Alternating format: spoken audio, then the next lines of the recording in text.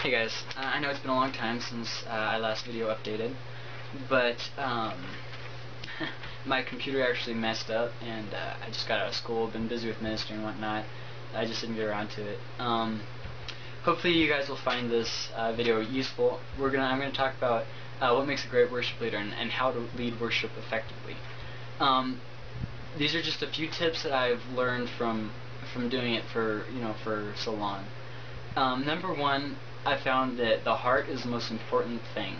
Um, talent is really nothing. It's not everything. I have heard plenty of people lead lead great worship services with almost no talent.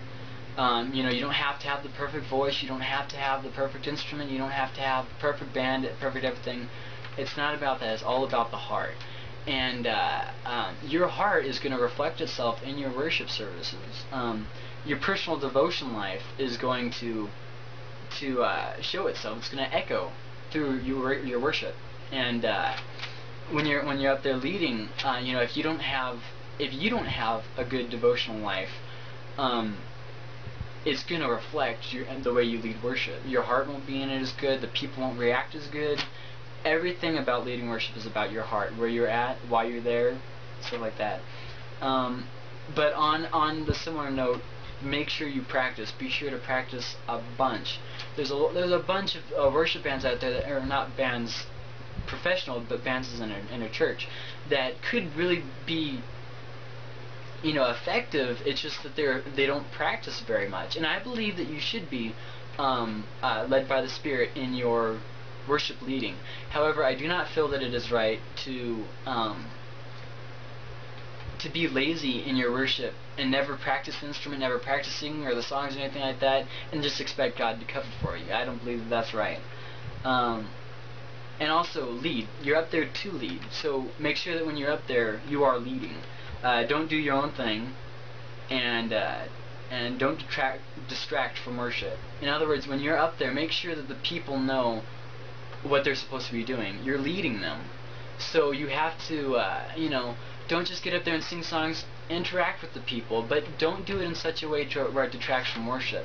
One thing that I see a lot is worship leaders doing things where in between a song they'll go to a slow song where where they'll, well they'll try to build up an emotion and an emotional response instead of uh, a praise to God.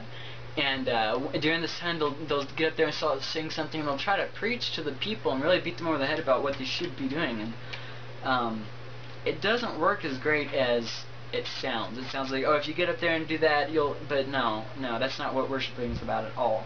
Um, remember that it's not a show, and to be prepared for any circumstance. You don't know if anything's going to break, if the lights are going to go out. Uh, you don't know what's going to happen. So just be prepared for whatever whatever uh, uh, might happen. Uh, also, don't forget to memorize songs. Uh, be prepared to do fewer songs if the spirit, if people aren't worshiping and you're just kind of dragging it out. Make sure that you can have fewer songs and you can cut it off. But also, in the same in the same breath, if the spirit starts moving and you feel like you should keep going, um, make sure that you have songs prepared. And for any anything that anywhere to where the spirit leads you, to where you're prepared for that, which goes back to your to where to the heart of the worship leader. What exactly what it always comes down to is the heart.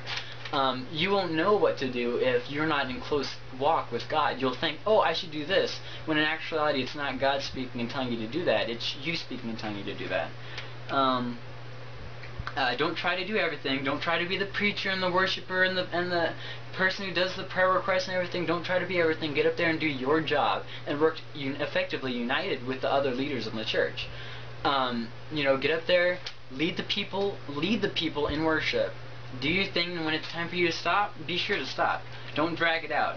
Um, uh, uh, don't beat them because you don't beat sheep, you beat cattle. And the church is sheep, not cattle. So you're not supposed to be beating these people over the head. You're supposed to encourage them. If you if need be, rebuke and, and correct them. But don't forget to, the encouragement part. You know, uh, you're not the pastor. You're just the worship leader, and it's your job to lead the worship. Um, uh, be creative. Uh, with with what you're doing. Don't don't settle for the same thing just because it's the way you've been taught, but instead be creative and do how you feel is the uh, is the right way to to lead the set. Um, avoid too too much repetition in your song list. Don't do the same songs every week, but don't do all new songs every week. You know, um, uh, avoid too much repetition where it's just like you beat something to the ground, but um, uh, you don't have to always end a song before you go to the next song. In other words, okay, you sing a song, you know, uh, um, how great is our God? Sing with me, how great is our God, and all will see how great, how great is our God. Complete stop. Awkward pause, and then go to the next song. No, you don't always have to do that.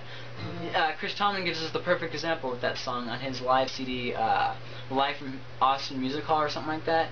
And he goes, How great, how great is our God. Then he goes to How Great Thou Art. Then sings my soul. And he doesn't even stop, he just keeps going.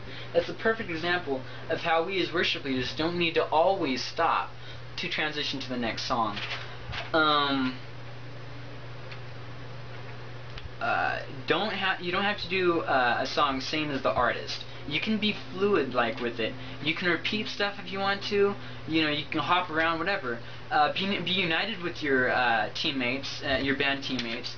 Uh, make prayer your foundation before you start everything. Just make sure that you, um, your your team has prayer as a major part of their um, life and as the band. Um, your spiritual progress will be mirrored by them. So you have to stay faithful. You are always an example. Uh, memorize songs. Uh, uh, follow the Spirit's leadings. Eye contact when you're singing, singing songs. Maintain eye contact with the people. Uh, lead by example. Don't expect them to do what you won't. Uh, be diverse with song with your song list. Experiment to see what uh, what fits your sp specific group. You're not trying to change their minds. You're just trying to be sincere and pick what fits. And what I do is I go from fast to slow. You know, I'll do like a, a couple fast songs, a couple medium slow songs, a couple slow songs. Um, worship leaders need to lead, so be sure to lead. Um, you don't need to do all uh, Hillsong United all the time. You know, Hillsong United is a great band, and they really know how to worship. They write great worship songs, but that does not mean that they're God, and they will not move the Spirit more than any other worship songs. And uh, but also you need to be sure to pick something that they will like instead of uh, picking something that you like. For instance, if you're leading for old people, older people, I should say. Please don't take offense to that. If you're leading for older people that like hymns, do hymns. You don't need to do newer songs just to try to teach them what's out. You know, just uh, uh, work good with your with your congregation and work effectively, and remember that it's all about your heart.